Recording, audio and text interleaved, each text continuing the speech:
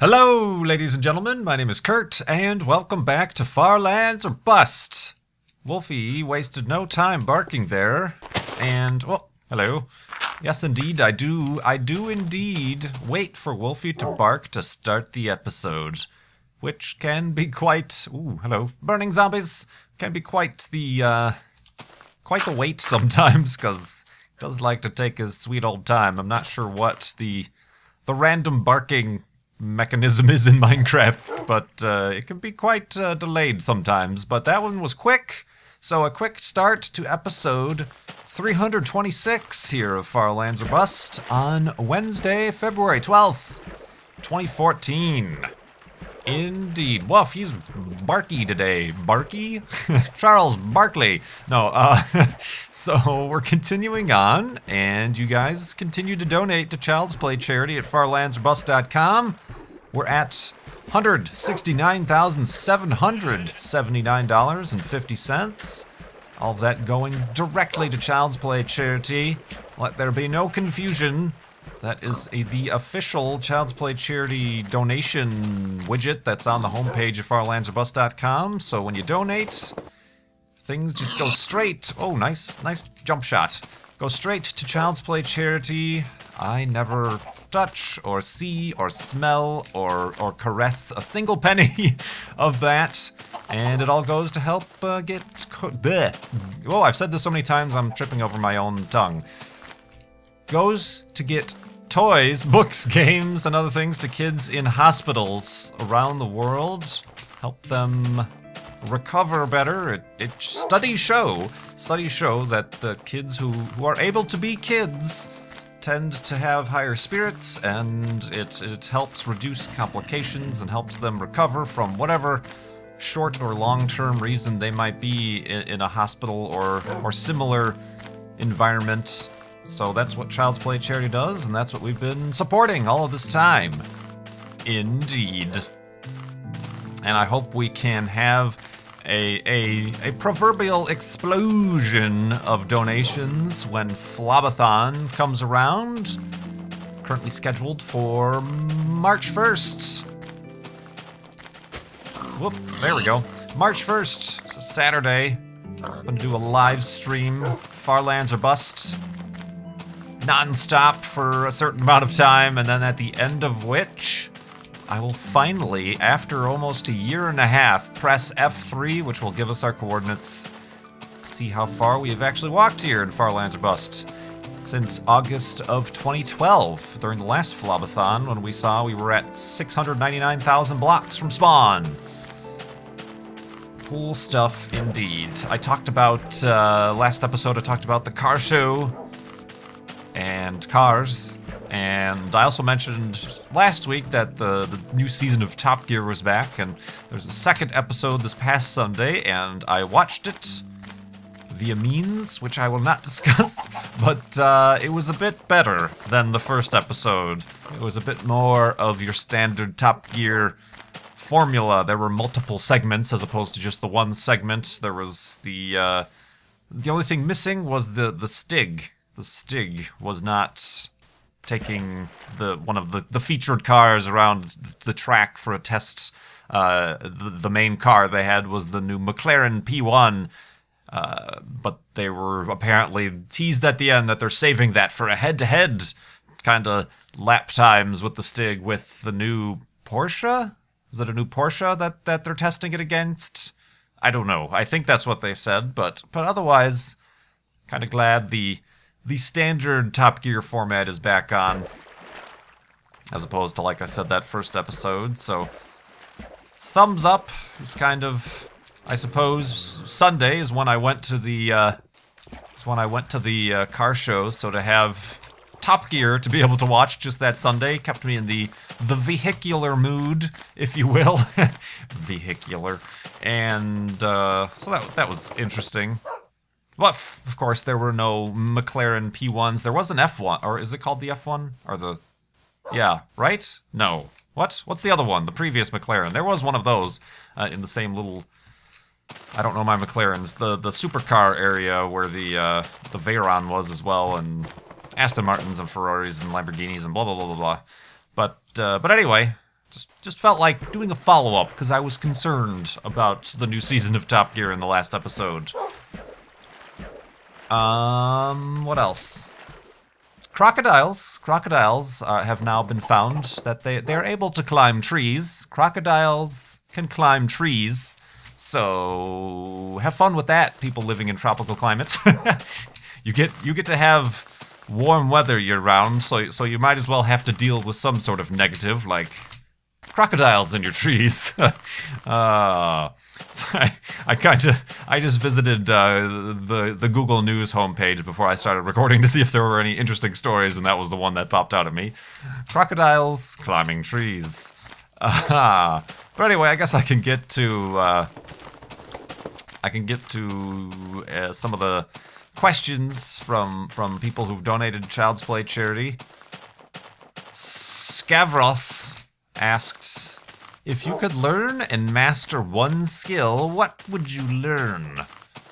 Life. How to be life no, uh, astronaut. How to be an astronaut. I, I would have to have much practice in space, so send me to space so I can master that one skill of being an astronaut.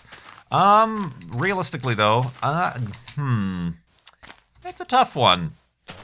I mean, I suppose for like day-to-day life, being an excellent cook would be nice. Uh, but yeah, you know, not not really. I don't. I, I wouldn't find much fun in that. I suppose. I always. It's it's very random and not really applicable. It's kind of obscure. But I tried in my early twenties to learn or teach myself how to do uh, pinstriping. Automotive. Speaking of cars, automotive pinstriping. You see that a lot on. I, you know, I was really into the old hot rods and things like that. Pinstriping is, you know, the, the very basic is you know having a, a single or a double stripe down the side of the body of a car. More specifically, there's really neat designs. Uh, that can be on the, the hoods, the sides, the door handles, you know, as, as much or as little uh, detail or extravagance as you would want. But if you look at old kind of the, the hot rod style cars, pinstriping is a big thing, and it's all done. I, I bought all the equipment. I was trying things out. Uh, my older sister had like a really crappy old uh, Dodge Omni, which are the uh, there were hatchbacks uh, that uh, finally died at one point. So she was uh, going to donate it. I don't know how many other places, you know, different different charities will actually take old cars in any condition uh, and then they auction them off and then use the money for the charity. I'm not sure how exactly it works, uh, but uh, it was going to be she was going to donate it anyway, so I decided to to pinstripe her car, uh, which was really ridiculous to have a pinstriped, rusty old, you know, late '80s Dodge Omni. But uh, but yeah, I tested on there, and little, you could take little um, glass panes or or uh, you know just anything and everything. You can just try to pinstripe. But anyway, my point was it's all done by hand. Uh, there's very special specialized pinstriping uh, brushes with very long, uh, thin brushes that uh, and it's all done by hand. A lot of you know if you if you buy a car nowadays uh, and it has stripes or pinstripes or something. It's either done by a machine or it's like an applied, uh, what's the word I'm looking for? Like a sticker, an adhesive kind of stripe that they put down the side of the car. So not, you know, obviously the cheap mass-produced version, but the the actual legit pinstriping is done with paint. It's usually uh, a very specialized paint. The the main, I think there's probably others, but the main company it's called, uh, or the main I'm not sure if it's the company or just the style of paint. It's called One Shot Paint, and I believe it's it's leaded paint, which is obviously not great in large quantities, but I believe because it's leaded paint, it is the right consistency to be able to to, to hold. Uh, it's lettering, lettering paint. It's also, in, in, in addition to pinstriping, it's sign lettering, which is another lost art form. Uh, you know, people used to before there were mass, you know, the vinyl signs and uh, mass-produced large format printers and things like that. People hand printed painted signs uh, for your, your various businesses or, or, or the sides of vans or, or billboards and things like that. So it's it's sign lettering paint. Uh, I had a bunch of that stuff, and I trying it out It's very difficult. You need to have both a very steady hand, and you have to be a little bit very sure of where you're putting the paint, and it's very difficult. But I kind of gave that up. It's kind of just something that I gave up. It was one of those things I think I really enjoyed cars, but because I, oh god, oh it's raining. We're being rained upon. No, we're not. It's over there. This is like an episode. This is like a, well, not the episode, but it's like the Truman Show. Are we like, why is it not raining here? But, that's hilarious. I almost don't want to sleep. Am I in a desert? Technically, I suppose. I'm in sand. Uh, hold on. Things are going to start spawning, but we're being rained upon. When was the last time we had rain on our heads? All right, let's go to sleep. let's get up here, go to sleep, and I will see you as the rain parts in the morning.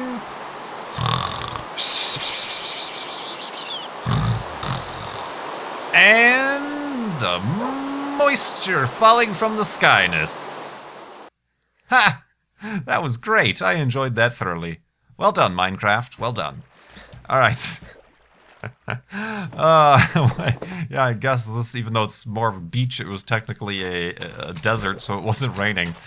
Well, a good thing that my, my bed wasn't getting all soggy and gross. that was great. Uh, but anyway, yeah, like I said, pinstriping, it just seemed seems like a very specific you know, almost like uh, tattoo artist is kind of a very specific. It, it kind of is more of a personality type skill than it is. You know, anybody could could end up. Well, not anybody, but you know, you can have certain skills like, oh, I'm good at basketball, or oh, I'm I'm, I'm good at cooking, like I mentioned before. But like pinstriping is is a really obscure kind of thing. And oh, I was beginning to say before it rained that uh, I was into cars. Oh God, that's a creeper. Gotta go. Think I enjoyed the rain. They sprout in the rain, don't you know? Hi, bye. Uh, uh, yeah, I was really into cars, but I didn't know much about being a mechanic or fixing up cars, nor could I afford uh, a car of my own. So I felt like, because I was artistic and I enjoyed painting and the fine arts is what I was going to school for, blah, blah, blah, I felt that that might be like my one in with the the the classic car culture you know, being as I can't own a car, I can't fix up a car, I, I could I could paint or customize a car, you know, so that was kind of my my idea, I suppose. Uh, but uh, like I said, kind of failed at that. Uh, just like anything, I'm sure if I had practiced day and night and all the time, I, I would have gotten great. But uh, just one of those things, kind of gave up. Uh, like learning the guitar or or stuff like that. But uh, but yeah, I suppose just one random skill. That's the one I would choose. Uh, so yeah, and as you know, you, you kind of think about it, oh, just like overnight the the skill fairy would come and and give you you know the hundred percent of the skill right away. I don't know if that's the way I would like it. It's kind of the work up to mastering the skill, I think, is the most interesting part. Once you master the skill, I'm sure it's guys not boring, but it's just it, the challenge is gone. So, uh, yeah, yeah, um, yeah. Oh, I read it. Oh, that yeah, this is perfect for what I'm talking about. I'm telling myself in my head, but not telling you guys listening. Uh, there was an oh, I forgot where I saw it. It must have been a quote in a blog or on the Tumblr post or something that uh, you know the reason the reason when we're first starting out at a skill, whether it be anything, painting, doing let's plays, doing uh, some sort of subject in school, uh, the reason why a lot of people give up to begin with is is is you know because they see themselves not being very good at it, even like graphic design. I never thought I was as good as other people or stuff like that. Um, but the reason you should keep going is because you have the taste, you have the excellent taste to be able to see that you suck. you know, to be able to determine that what you're making is bad. You know, is kind of the first step to having and mastering a skill or an art form or something like that. Uh, so it's kind of that that is the big hurdle that you have to overcome is being able to accept that you suck, but the fact that you know that you suck is is the reason you should continue because eventually you will realize that your good taste will serve you in getting better and better and better. I think you know it was worded much much better than that when I read it, but uh, I just thought that was really interesting. I've never seen it put that way. Uh, you know, you always just hear, "Oh, you it's it's it's hard, so people give up, and that's why blah blah blah blah blah." Uh, not necessarily. It's it's not the difficulty level, or it's not that you're comparing yourselves to others. It's just you're comparing your own work to your own uh, uh, tastes, which uh, you know, depending on, on on the skill you're trying to, to gain, might be impeccable taste. You can pick out of a lineup the great stuff that you want to be able to be producing, but uh, uh, you know, you yourself don't make, meet your own standard. So you know, you'll also see the opposite of that as people who who think they're great from day one. But they're actually terrible. They don't have great taste, so they will never master that skill. Kind of a, a flip side there. Woo! I'm all being motivational and stuff today. What's up with that? um, so yeah, hmm, that was well said, Kurt. Good job regurgitating something you saw elsewhere on the internet. uh, okay. Uh, anyway, thanks for that question, and uh, we're gonna go on to another one here from Jesse Marie. Asked, "Have you considered playing Minecraft maybe five days a week?" I'm assuming, speaking of Farlands or Bust Minecraft, uh, to possibly gain more ground in Farlands or Bust.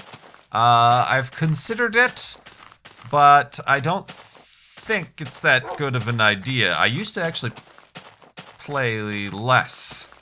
You know, I've I've I've tried to back and forth find, uh, you know, a good rate of videos. I think at one point I did try the everyday thing, but only like one day Minecraft episodes or two day Minecraft episodes. That didn't work. Of course, early early on in the series, when this was the only series I had going on my YouTube channel, I did a lot more. Or I would record before I started the Farlands journey. I would record three or four episodes in one go and then split them up into different episodes, uh, like like your standard Let's Play. Um, but I, you know, I I think as I've said many times before, it's not necessarily about the speed at which I, I cover distance or get to the far lands, quote unquote. It's about the journey, and now more so about the the Child's Play charity fundraiser and, and stuff like that. But also, I have to consider that this is a a. Oh, that just looked weird. I'm like, what is that thing underneath that cow? It's the the flower is jittering, but the cow is not with the. Uh, the terrain around him. Uh, it, it's it's not about all that stuff, but I also have to consider that this is a, you know, this is what am I trying to look at? Entertainment. This is this is this isn't just. I'm not trying to to break a world record or get the Guinness books or anything like that. If you know, on my own, if that was the case, I would just sit here and as people have mentioned, why doesn't he just tape a, a, a weight to his W key or, or make a program that, that makes the player walk in one direction and jump over obstacles? But, you know, I've seen a lot of those comments in a lot of the articles about Farlands Bust that have been coming out. But, uh, yeah, it, it's it's it's a show for you guys. It's it's for entertainment purposes, and you know, just like if uh, you know your favorite show came out Monday, Tuesday, Wednesday, Thursday, Friday, that would get repetitive over a while. Not only that, but they would run out of content really quick. So that's why most shows are on a weekly schedule. You know, uh, talking like network TV type type stuff. Um, so I kind of had to space it out, and a little bit ago is when I kind of set on and I found what I felt like was a sweet spot of Monday, Wednesday, Friday, three Minecraft days uh, like 35 minutes, was a good way not to totally spam your guys' inboxes or sub boxes on YouTube, but to keep your interest and also my own interest, and also allow me to do other videos on my channel, since I might not have the greatest of, say, video making endurance as perhaps some other Let's Players who can get three, four, five videos out a day. It's, it's my own my own failing, I suppose But, uh, you know, for a long time, and now that the buzz has kind of died down, Far Lands or Bust is not uh, the greatest series on my channel as far as views and, and what I can say is my full-time job uh, as a as a gaming YouTuber. So I, I do have to supplement it with these other things. Uh, I mean, obviously, that would be great if I could do that, or maybe I would, if that was the case, where I was doing Far Lands or Bust five days out of the out of the week, uh, I would I would make a special channel for it, or I would spin off my other stuff to another channel, you know, Kurt Gaming or you know whatever, and just have this be the Far Lands or Bust channel where I upload five days a week. But I, I you know, I'm not. That's not something. Whoa, that was some parkour there to get up here. Parkour to you. Uh, so that's not, uh, you know, I, I, I, I, certainly considered that as a suggestion, uh, but uh, I, I'm not that I feel like I'm I'm in a good place. I'm in a good place right now, and I feel like you guys enjoy this kind of format too. Gives a little bit of a breather, just like we, uh, you know, haha, segue. We started a new season of Mindcrack UHC. The same reason we do those every other day, and most YouTube gaming series is if they're consistent like this are scheduled for every other day is to kind of give Whoa, this is too high. Kind of give people a chance. Maybe there's a lot of viewers who don't check the uh, their subscriptions every day. It gives them a chance if they missed the initial day to, to catch up the next day. In terms of in terms of uh, UHC, there's so many perspectives. You know, there's over I don't know how many hours, six hours of footage from all of us it gives people who want to watch other people's footage multiple days to, to catch up. So, so yeah, I feel like this is a good standard for Far Lands or Bust at least, but I appreciate your donation and your question, and let's go to sleep and continue in the morning.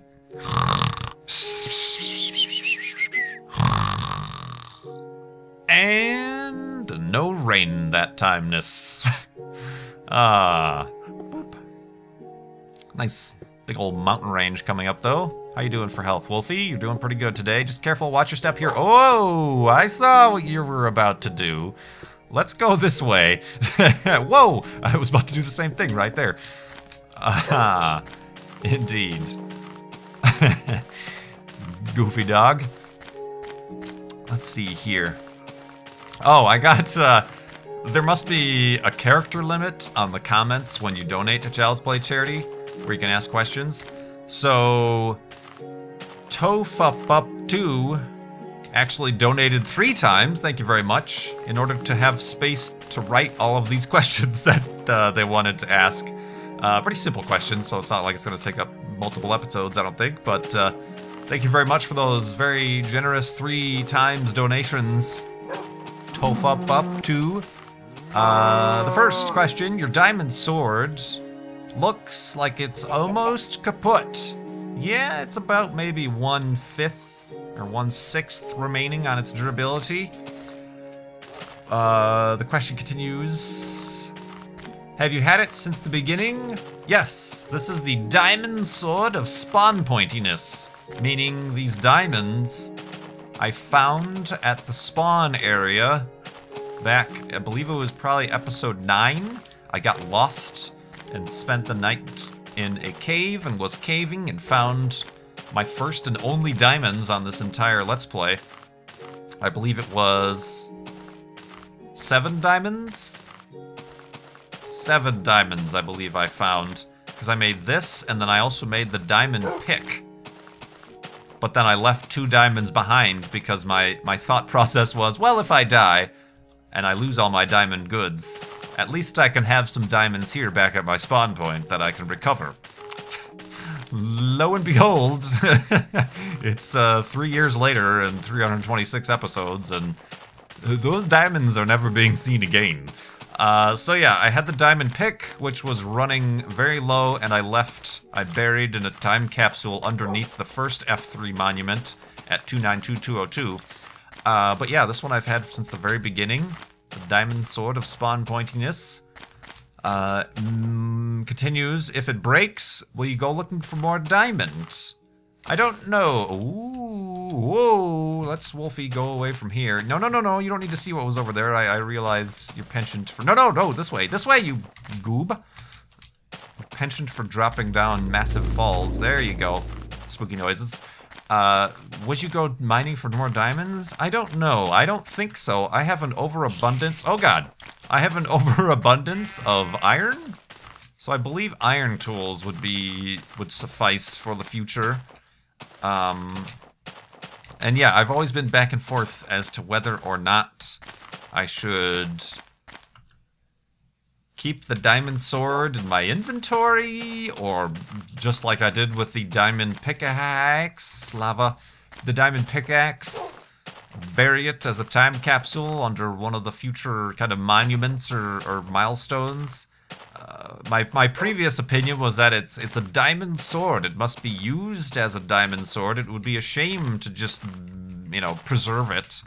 It must protect myself and Wolfie in the adventures.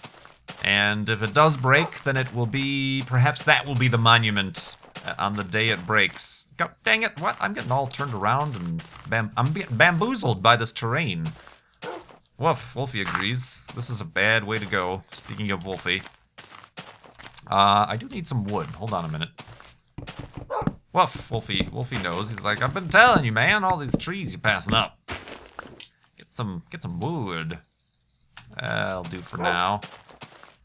Oh, wow, look at that. I like that. It looks like uh, one of the, you know, like the, the Badlands or, uh, ha.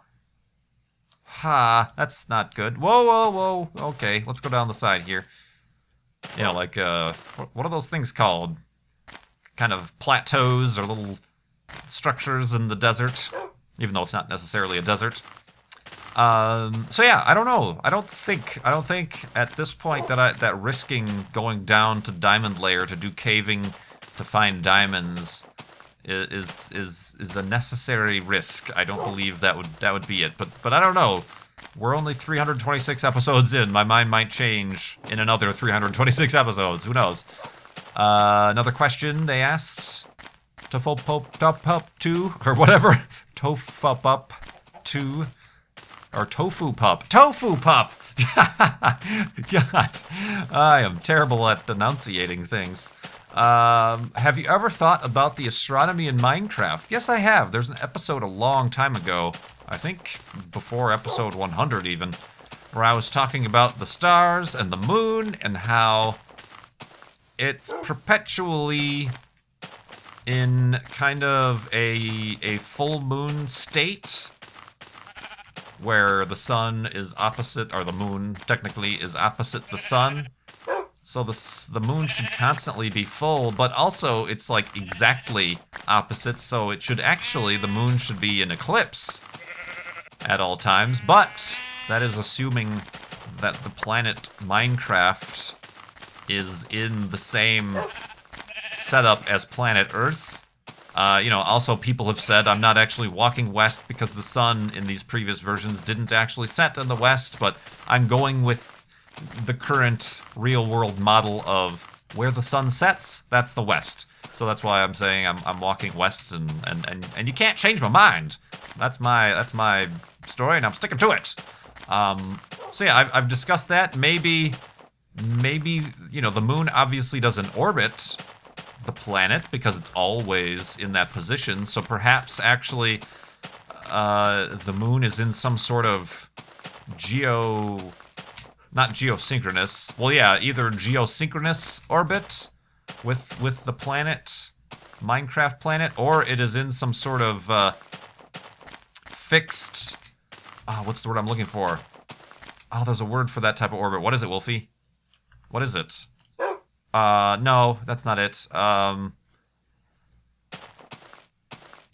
Oh, oh it's on the tip of my tongue. It's totally right there on the tip of my thumb. It's, uh... They're talking about putting spacecraft there. It's in a, uh... Where it's locked. Dag nabbit, what is the words? Wolfie. Uh, no, that's not it either. Uh, um... Oh my gosh, it's like right there. This is gonna bother me for the rest of the episode. Bleh. It's in a orbit. A uh It's like named after somebody famous in science. It's fixed in a oh Lagrange, Lagrange or Lagrange point. That's the word where it's actually as if it were orbiting behind the the the planet but in the same orbit at the same speed. Yeah, I don't know if that would be possible in a two system you know, planet moon type of situation. It might be. I know that you can there are points around our moon on Earth that would be Lagrange points within the moon, or I'm sorry, within the sun, or within the Earth moon system that has really no general influence of the sun. But uh, but yeah, that that was my other hypothesis. I mean, also in the does the moon does my moon in Far Lands or Bust? I haven't looked at it in a while. I don't think we have phases of our moon here, do we? Good grief. Uh, the phases of the moon in the current version, uh, and possibly this version, are all wrong because the moon never. Ooh, nice place you got here, Minecraft. Uh, the moon never moves in the sky. You know, the reason we have moon phases in our little system in, in real life is because the moon orbits our planet and then gets the different.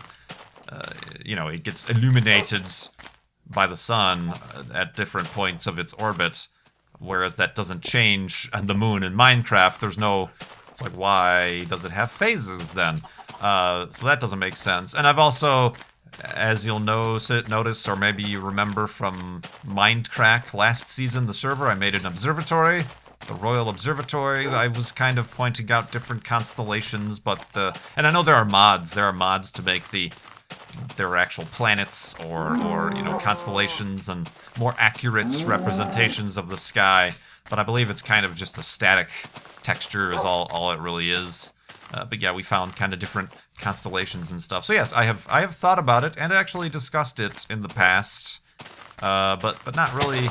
Speaking of saving the the golden sword of spawn pointiness, I'm using it to chop down foliage.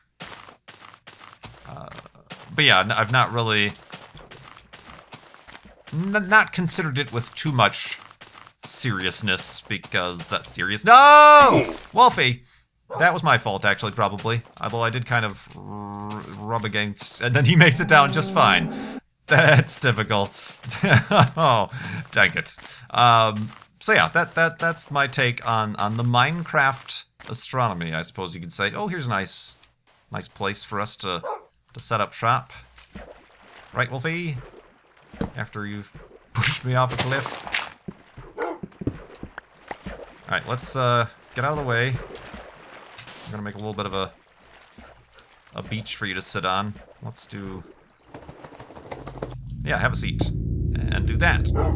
Oh, those spooky noises aren't great, but let's...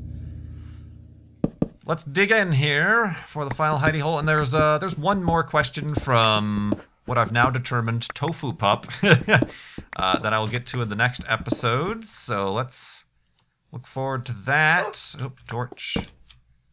As I wrap this one up, thank you very much for watching. You know, those, those little likes and subscriptions and shares and whatnot help me out and help other people find Far Lands or Bust, and hopefully other people will be gracious enough to give to Child's Play Charity, which is a great cause. You can learn more about them at childsplaycharity.org. If you have any have any questions about them, one, two, three. Very nice. Beep, beep, beep. Very nice. Let's do that. Uh, I need a boat as well. So, yeah, this has been episode 326 of Far Lands or Bust. Thank you very much for watching. Careful of those tree climbing crocodiles. My name is Kurt. I will see you next time.